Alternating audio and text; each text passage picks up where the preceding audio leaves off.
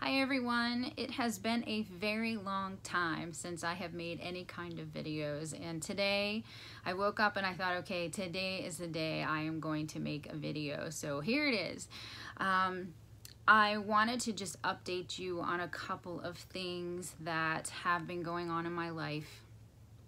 I wrote a blog post about all of this in much greater detail if you would like to check that out. Um, I'll share that with you um, before the video is over, but I have had some really big things going on in my life in the last couple of years that I haven't really mentioned and I have mentioned my health. That is one of them.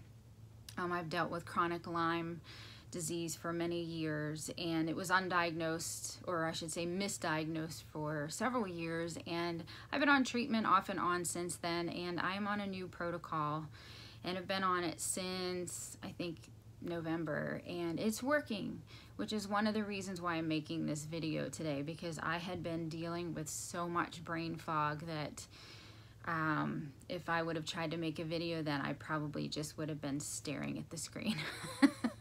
So no videos when I'm feeling like that. Um, but I it is working. It is very slow um, but but it is working and I'm so encouraged with that because I see progress. Um, so I know that I'm on the right protocol. Um, also, my marriage, there has been a lot going in, on in my marriage over the last few years and some a lot of things that I haven't mentioned. Um, I think I've alluded to them a few times here and there, but I have not gone into any kind of detail up until now because I wasn't sure, number one, if I should. You know, I don't tell everybody everything, just as you don't. Um, and the timing just wasn't right.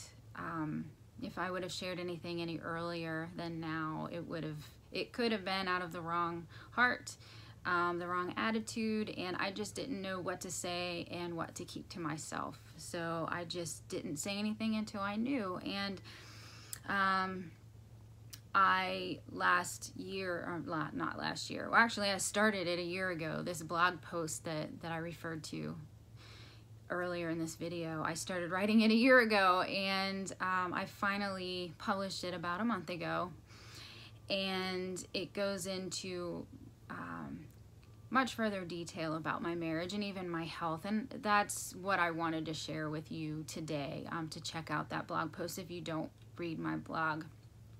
My website is longingforintimacy.com and uh, the blog post title is A Time to Heal. And I talk about my marriage and really things that I haven't said. Um, and again, I, I realize I don't have to say everything, which is why I haven't. But these are pretty big things that I wanted to wait for the right timing for. Wanted, I wanted to wait for God to heal my heart so I could share um, only what I should share and only for the right motivation. And um, it's time, so I wrote the post. And I also wanted to just give you updates on my health and kind of why you haven't seen a whole lot of me and why um, I'm hoping to get back into things more as time goes on. I'm just trying to be patient as my body is healing. So if you'd like to check that out, that would be great. Again, my website is longingforintimacy.com and the blog post title is A Time to Heal. So leave me a comment there. You can't comment here because I have the comments turned off on YouTube.